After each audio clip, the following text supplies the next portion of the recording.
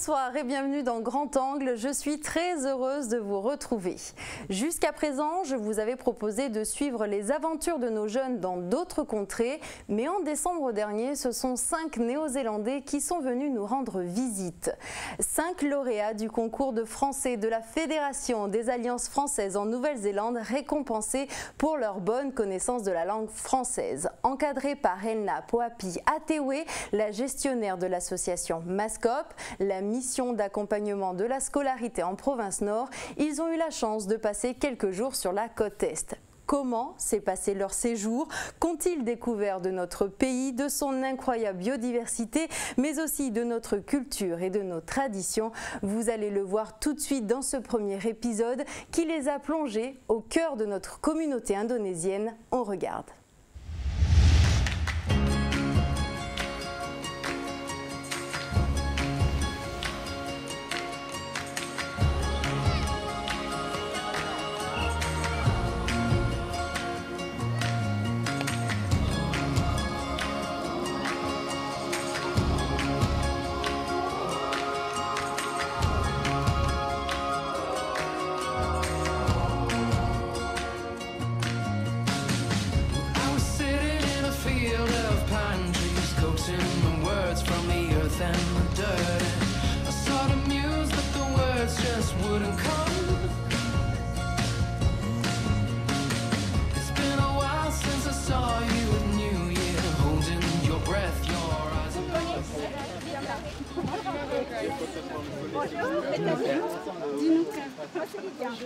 On va, on va prendre un petit verre de jus ou un petit verre de grenadine.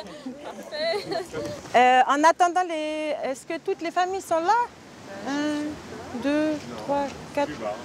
Ah oui. Ben, en attendant la dernière famille, on va aller euh, s'installer sur le bord de la mer. Il y a du vent là, et là.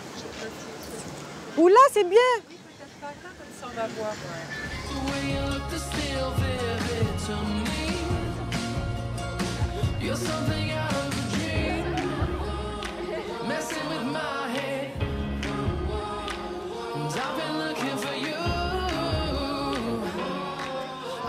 On se trouve euh, donc au stade de Tieti à Poindimier, puisque euh, nous fa- faisons partie des, familles qui accueillons des Néo-Zélandais euh, à Poindimier pour euh, 10 jours. Là, ce sont des jeunes qui ont gagné un concours euh, de l'Alliance française et donc euh, qui ont gagné un séjour euh, en Nouvelle-Calédonie. Donc ils sont généralement âgés de 16 ans ou un peu plus et puis surtout ils parlent assez bien le français. Puis on va essayer de leur faire découvrir eh ben, le, le nord calédonien euh, pendant cette période. Tinika, tu as déjà vu qui était ta famille d'accueil? Euh, Nicolas et Émilie. Ok, Nicolas et Émélé, super. Euh, pardon, Jeanne-Marie. Et Patrick, ok. Numéro 1. D'accord, ok. Alors aujourd'hui, on accueille Grèce, donc, euh, qui, euh, qui a 16 ans et qui, euh, qui nous a déjà contactés euh, pour nous donner ses goûts. On sait que c'est quelqu'un qui aime le sport, qui, qui ne connaît pas les îles tropicales, donc il y a plein de choses à découvrir ici. En tout cas, merci.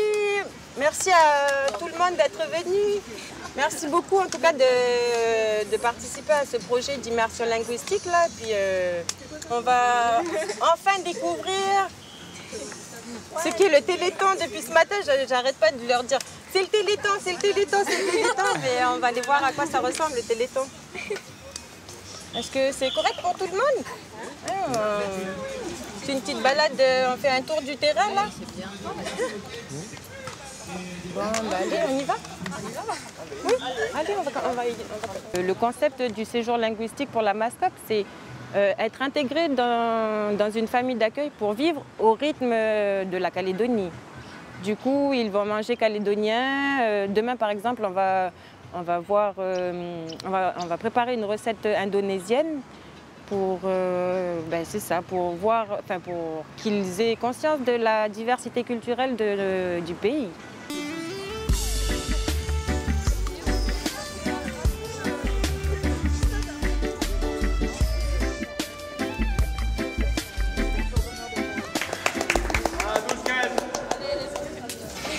Encourager et applaudir le premier tournoi international ici à Poigny-Wimmer.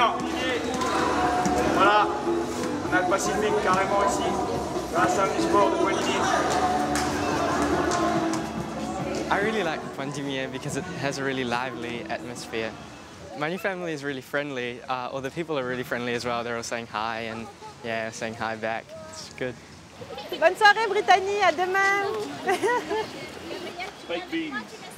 We were thinking of phoning you up and asking you to bring some baked beans. Or I will. You have baked beans. Donc là maintenant on récupère euh, les jeunes et puis on va les amener dans nos maisons et ils vont découvrir euh, leur lieu d'habitation pour des jours. Profitez bien de la pleine lune Oui, merci encore, monsieur, madame Toubar, bonne soirée. En fait, ici, on, on s'est donné rendez-vous avec les familles d'accueil euh, à la case. euh, en fait, c'est c'est- le, point central de Pointigny, on va dire. Euh, Il y a le stade derrière nous, il y a le terrain de tennis à côté. C'est bien parce qu'aujourd'hui, on est arrivé pile pour le téléthon, alors euh, les jeunes. Les jeunes doivent penser que c'est quand même un village qui bouge, Pointigny. Et euh, non, c'était sympa. On- donc on a donné rendez-vous aux familles d'accueil ici pour pouvoir en fait qu'ils récupèrent chacun leurs jeunes et puis qu'ils euh, qu'ils partent ensuite euh, rejoindre leur maison pour, pour s'installer. Comme tout à l'heure, mon gosse. Donc, bah, bienvenue. hein. Ah, merci. Oh, je l'adore. Il y a beaucoup de couleurs. J'adore la rouge. C'est vraiment. Ouais. Ah, on doit jouer. Ok. On est fort, attention. Pas moi. Non, moi non plus. Voilà ta chambre. Oh, le lit est si grand. Ouais. Ah, et les magasins, en- un magazine en anglais, c'est parfait. C'est en français et il y a des pages en anglais. Là. Je peux le faire. Ensuite, ça, c'est ma chambre. Très cool. Oui. Et avec la vue sur la mer. Le kiwi. Oui. Au fond, là-bas, on voit la mer. vraiment heureux. Et je les adore jusqu'à maintenant. Tout le monde est vraiment accueillant. Et Oana, elle m'a dit qu'il y a des araignées vraiment grandes quelquefois dans la maison. Et j'avais un peu peur, mais c'est bien. Alors oui, je me sens comme je fais partie de la famille ici. Si tu as besoin de quoi que ce soit, tu, tu demanderas. Ouais, merci. J'ai des cadeaux. Je dois les présenter. Hum, trop de sacs dans mon sac. Cette année, au collège, on a eu des échanges. Et du coup, en fait, euh, maman, elle a choisi d'accueillir aussi les correspondants. Donc bah, là, on a Grace. Et avant, j'avais déjà eu des correspondants de Nouvelle-Zélande euh, avec le collège. Du coup, là, c'est la deuxième fois. Bah, là, euh, j'espère plus d'échanges parce qu'en fait, la dernière fois, nous, on leur parlait beaucoup anglais, mais eux, ça faisait qu'un an qu'ils parlaient français. Du coup, ils ne comprenaient pas beaucoup. Et là, on, a déjà plus échangé. euh, Par contre, euh, avant, on était entre collèges, donc c'était plus... C'était plus un cercle de... entre des classes, alors que là, c'est plus famille. Donc c'est c'est plus... c'est mieux, je trouve. J'ai des cadeaux pour vous. Les deux, c'est ça pour vous. Merci. Et bon, Moi, je dirais que c'est des colis mélangés. je dois les expliquer.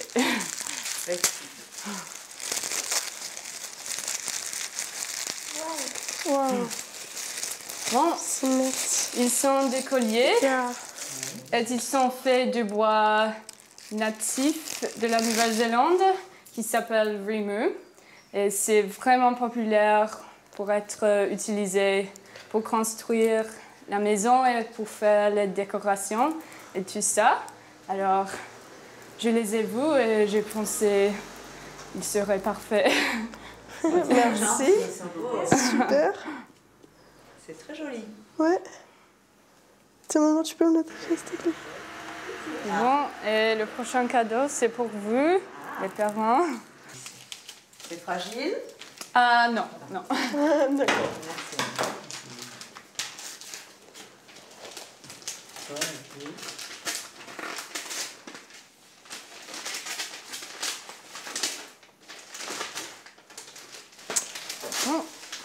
Évidemment, c'est la C'est trop Nouvelle-Zélande.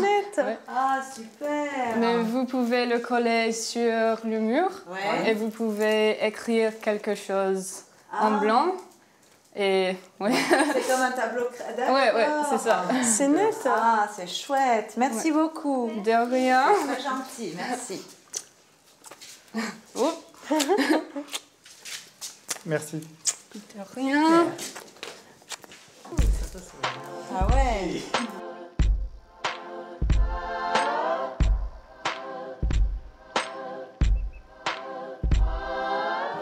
Bonjour. Bonjour, Arlène, la vice-présidente de l'association. Ok, moi c'est Poitiers Elma, puis je Elma. petit groupe. D'accord, enchantée. Puis ben, euh, nous on a préparé un petit geste parce qu'on va pas arriver comme ça à la maison.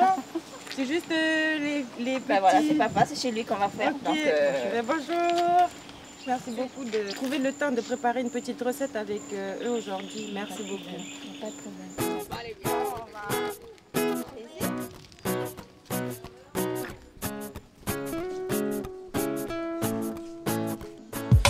Sitting kicking back with the bro the other day, trying to think about a song that we could play, but nothing struck my mind, and I was Aujourd'hui, like. nous sommes venus à la rencontre des- de la communauté indonésienne sur Pointe-Dimier parce que ben, Pointe-Dimier, euh, c'est quand même un village multiculturel. euh, et hum, il faut dire que l'association euh, des Indonésiens sur Pointe-Dimier, elle est très active et euh, euh, elle, a, été très réactive lorsque nous avons sollicité leur présence pour pouvoir euh, partager un repas avec eux. En fait, l'idée de départ, c'était de, hum, rencontrer plusieurs personnes différentes pour avoir euh, plusieurs interventions de différentes personnes, bien sûr, et pour qu'ils acquièrent différents, enfin, euh, du vocabulaire dans différentes situations de, la vie courante. La communauté indonésienne a été euh, tout, de suite, euh, a tout de suite accrochée au projet. Euh, ils ont proposé beaucoup de choses et du coup, moi j'étais agréablement surprise de voir que ça ne leur faisait pas peur. Ils avaient vraiment une envie de partager leur culture, leur, leur savoir-faire. Et puis, ben, c'est pour ça qu'on est parti sur une. euh, D'abord, c'était juste euh, préparer un bami avec les jeunes néo-zélandais. Puis finalement, ils nous ont proposé un repas complet. Alors, euh, nous, ce qu'on a fait, on a, on a tout de suite. euh, dit- on a tout de suite signé. Vous avez appris où le français? À l'école?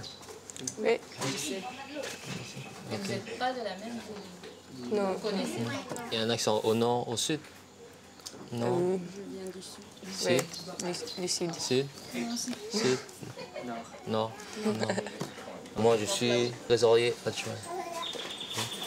Après, dans, dans notre euh, association, qui est ça, assi- Association culturelle des Indonésiens de Poidimé. On a créé ça en 2010 parce que plusieurs personnes sur Poidimé ont demandé à avoir euh, une association indonésienne. On a demandé à plusieurs personnes, plusieurs familles, qui veut se lancer, qui veut être dans l'association. On est sept. On est sept dans la famille. Et ceux qui font partie du bureau, on est cinq. On est cinq. C'est-à-dire que le bureau est composé que de familles, que de frères et sœurs. Il y a cinq associations indonésiennes. Là, il y a nous, Padimi. Dans la côte est, c'est nous. Après, dans la côte ouest, il y a notre association. Après, il y a sur euh, le sud, il y a d'autres associations. Et en gros, chaque année, on essaie de se réunir pour avoir fait un bilan de ce qu'on a fait de l'année. Là, le 15 février, on fête les 100... dans les 118. ans de l'arrivée des Indonésiens. Alors, eux, les Néo-Zélandais sont arrivés parce qu'on a voulu montrer, nous, Indonésiens, notre culture, notre savoir-faire, euh, ce qu'on peut faire, notre cuisine surtout, notre cuisine culinaire. Montrer aussi comment, comment on vit en gros euh, ici euh, en Calédonie. Nous sur la côte est, euh, entre, surtout entre frères et sœurs, on est très proches. Après, euh, surtout, ben, avoir des échanges avec eux. quoi. C'est c'est ça. En gros, le but, c'est avoir des échanges avec la euh, les jeunes de Nouvelle-Zélande et nous, notre culture. Après, nous, en Nouvelle-Calédonie, on nous appelle plus euh, des Niaoulis. Hein? Tu vous connaissez le Niaouli? C'est un, Non, un- arbre et euh, on cueille les feuilles. Si on, on sent les feuilles, ça sent très fort comme Mhm. du menthol. C'est le, le nom qu'on donne aux Indonésiens. Mm. Bah, c'est pas parce qu'on sent le yaouli, hein, non Ah oui, le Niaouli. Pourquoi le Niaouli bah, Moi, c'est ce que les vieux ils ont dit. hein. Ils ont dit le Niaouli parce que avant, quand ils allaient dans les champs, souvent les mamans, ils mettaient leurs enfants sous un pied de Niaouli pendant qu'ils cultivaient leur euh, terre. Et depuis là, ça s'est resté ce nom-là. On nous appelle les Niaouli. C'est ce que mes parents ils disaient. Voilà le petit jardin en gros de mon père. Bon, ici, ça, tout le terrain, là, ça appartient à la tribu. On a demandé à la tribu si on pouvait cultiver. On a fait ça. Il y a d'autres personnes qui sont de côté, ils cultivent. Il y a une famille indonésienne aussi encore de l'autre côté. Ils cultivent aussi de l'autre côté. Nous, ce qu'on va prendre, c'est du persil. C'est une forte odeur. Et c'est ça qui donnera le goût. Et cette odeur-là, j'adore euh, faire la cuisine. C'est ça qui donne la saveur du, du bami. Vous pouvez prendre chacun une feuille. Hein? Casser chacun une feuille. Casser chacun une feuille. Comme ça, on mettra dans le bami. Dans le jardin, nous avons euh, ramassé euh, les herbes. C'est vraiment intéressant pour moi parce que ma mère et moi, euh, en Nouvelle-Zélande, nous sommes en train de euh, cultiver notre euh, jardin de légumes. Alors, euh, c'était vraiment euh, impressionnant parce que notre, euh, l'un de nous est vraiment, vraiment petit. oui. Vous voulez en cueillir chacun une? Hein Les ananas? Chacun. Choisissez ce que vous voulez, petit, gros, moyen. Faites juste attention, ça pique. hein. Vous pouvez prendre en bas. Il y en a celui-là. Il y en a une là-haut. Ils sont petits, hein Très petits.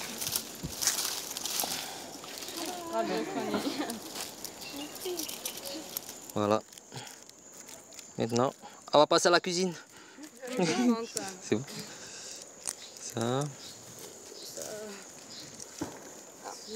Ça pique, hein. C'est bon, on va un peu de tout découvrir.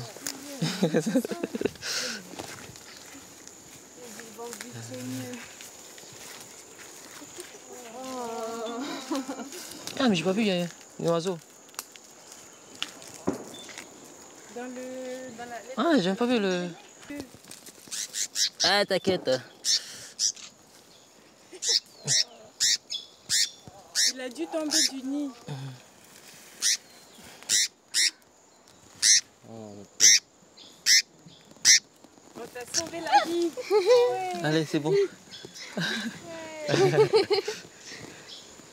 Là, voilà. C'est la nature. Désolé pour l'araignée, il n'aura pas mangé. Tant pis pour lui. Alors, pour la préparation du bami, il fallait plusieurs ingrédients. Euh, certains avaient déjà été hum, récupérés par euh, notre chef euh, Poney. Et les derniers ingrédients, en fait, les herbes qui vont aromatiser le, bami, ont été récupérés dans le jardin du papa de, Poney, en arrière de, de sa maison. Là. Du coup, on est allé récupérer du persil, on a, on a ramassé des, euh, ananas. Euh, bon, bien sûr, les ananas ne sont pas passés dans le bami, mais en tout cas, on a, on récupéré quelques ingrédients dans le jardin et puis on, on a, on épluché les légumes qui étaient déjà, qui déjà par, euh, par notre chef cuistot. Bah, dans la famille, ils disent que c'est moi qui fais le meilleur bami. Après, je ne suis pas sûr que tout le monde aime mon bami. Moi, je fais à ma façon. On a tous une façon de les préparer, tu vois. Alors, nous, on fait un bami aujourd'hui au poulet. Avant tout, une présentation, c'est du vermicelle, euh, champignons qui n'est pas vraiment nécessaire. Moi, je ne le mets pas, mais là, ils ont voulu le mettre avec les champignons. Carottes, de l'ail, oignons, haricots, choux verts et les persils et oignons verts. Alors, la première chose, c'est le vermicelle. Il faut laisser tremper dans l'eau. Moi, je mets 3 heures dans l'eau froide. Et après, on touche pour voir si c'est assez mou. Alors, il faut casser le, le bout. Non, celle-là. Je tire ça. Après, on va couper. euh, comment on dit ça? Billet Oui. de Je sais pas travers. Julienne.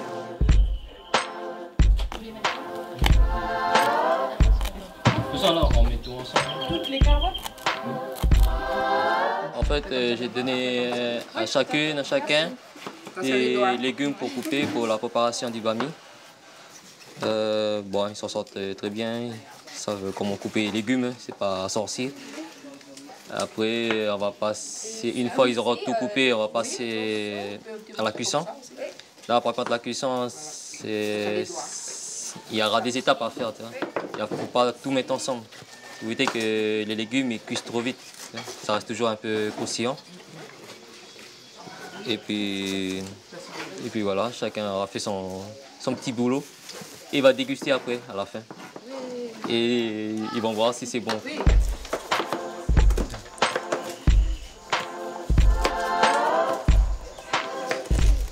Moi, quand je fais mon bami, il n'y a personne autour de moi. Moi, je mets mes ingrédients. J'ai des astuces à, moi et je peux pas. Après, si, je, leur montre. Mais le goût, c'est pas ça.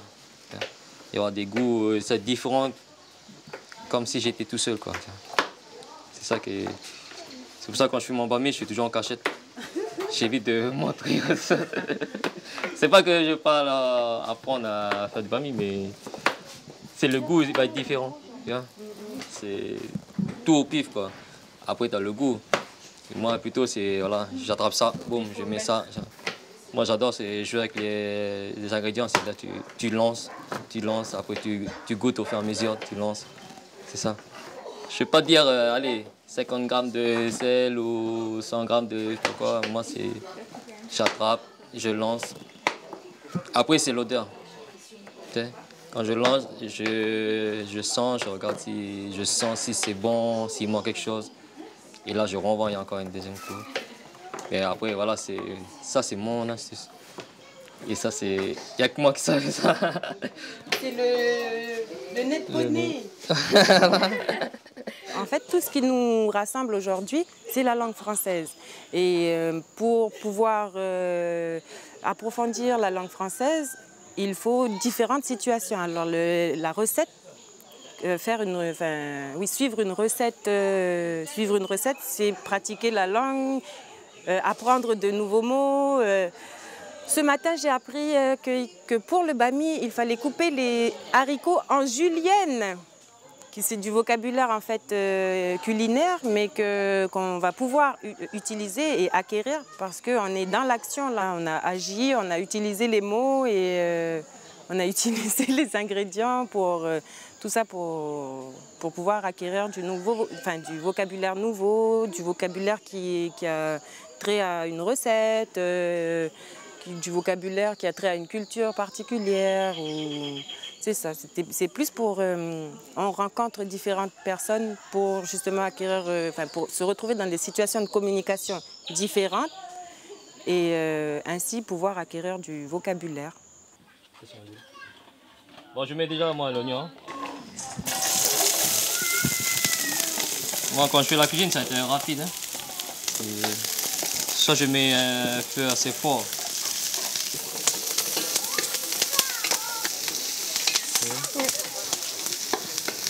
Bien chaud de l'huile.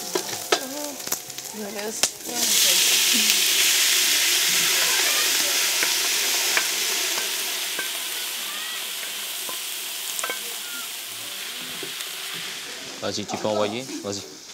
Mets-toi. Vas-y, vas-y, vas-y. Ok.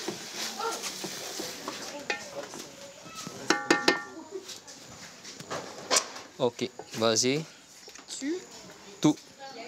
Bah déjà, j'étais vraiment j'étais partant quand je donnais les tâches à faire, étaient tous là. Ils veulent vraiment le, le faire, découvrir euh, vraiment la, culture indonésienne. Bah déjà, c'était super euh, d'avoir euh, au moins présenté notre plat culinaire, le bami. Bon après, bah, ils, sont, ils sont jeunes et ils ont besoin de découvrir autre chose. Et ça, c'était bien. J'ai aimé chez eux, c'est d'être vraiment ouverts. Ils sont là, ils sont ouverts. ils sont curieux. C'est vrai que quand je fais quelque chose, ils demandent c'est quoi ça, c'est comment ça s'appelle, tout ça? C'est bien, j'aimais bien. Ah, voilà les amis, euh, le bami est terminé. Vous avez vu, il y a de la couleur, il y a l'odeur. Maintenant, il faut voir s'il y a du goût. C'est tout ça le plus important. À vous de juger, voir s'il est bon, s'il n'est pas bon. Et je vous souhaite juste euh, bon appétit. Voilà. Merci. Ben, merci à vous d'avoir tout préparé. C'était bien. Alors, pour faire un euh, ba- beignet, euh, il faut euh, d'abord couper les légumes, euh, comme les carottes, les ch- la chou, euh, les haricots, etc. Et euh, puis, on cuit la poulet et euh, les oignons. Et puis, euh, on, ajoute- on a ajouté euh, les sauces. oui, euh, oui, et puis on s'amuse. Alors, il est bon votre bami? C'est comment? Délicieux. Excellent, Délicieux. délicieux, Oui. euh, pas bon du tout, faut me dire. C'est absolument délicieux, oui. C'est la première fois que j'ai goûté euh, la repas indonésienne, oui. Mais euh, j'ai mangé trop. Je pourrais manger ça tous les jours. Moi aussi. J'aime les tout. C'est une mélange. C'est les deux, sucré et salé. Euh, ouais. L'accueil ici aujourd'hui, c'était vraiment agréable. Euh, tout le monde était vraiment accueillant, comme toujours. Euh, nous avons fait deux bis sur les joues de tout le monde, j'adore ça. Et ouais, c'était vraiment amusant de couper tous les légumes avec la famille. Et nous avons, nous nous sommes sentis comme nous sommes partie de la- l'association, l'association aussi. Et oui, c'était très bien.